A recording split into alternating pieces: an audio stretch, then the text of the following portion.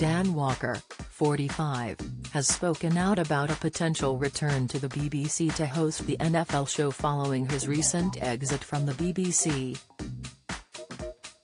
The broadcaster announced earlier this year he would be stepping down from his presenting role on BBC Breakfast to join rival broadcaster Channel 5. Having now started his new job as a 5 News anchor, Dan has been faced with questions from fans as to whether he will go back to present for the BBC.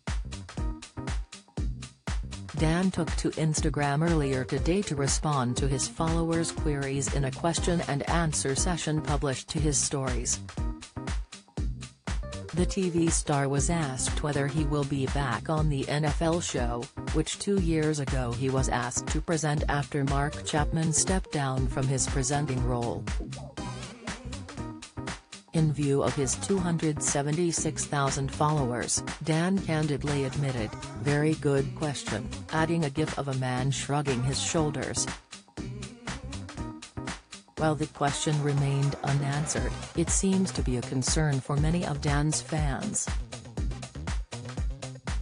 In May, in a separate Q&A session, another fan was curious to know whether Dan would continue to do the NFL show following his move to Channel 5. They asked, does all this mean no more NFL show? You'll certainly miss it they wrote alongside a sad face. Dan tentatively replied, not sure yet. Watch this space. There are quite a few factors at play. Meanwhile, Dan's BBC Breakfast replacement was confirmed earlier this month, with John Kay joining Sally Nugent on the famous red sofa. Dan took to Twitter on the day John was announced as the program's new host in order to send him his well wishes. John confirmed the appointment by sharing a tweet posted by the BBC News press team. In view of his 44,000 followers, John added, reshuffle latest.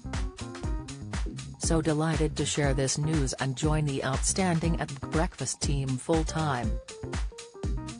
An absolute honour to front the UK's number one morning show with my mates at Sally Nugent at TV Naga 01 and Charlie, and his new cat, Dan shared the tweet in view of his 769,000 followers, adding, brilliant news.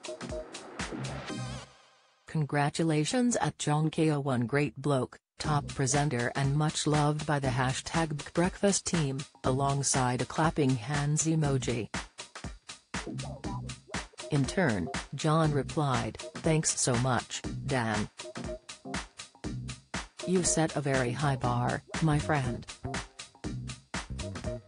Dan then cheekily warned, just don't make it look too easy John, along with a string of laughing emojis. Dan fronted BBC Breakfast for six years after replacing Bill Turnbull in 2016. He is now hosting Channel 5's revamped 5 News alongside Claudia Liza Vanderpuije, taking over from Sian Williams.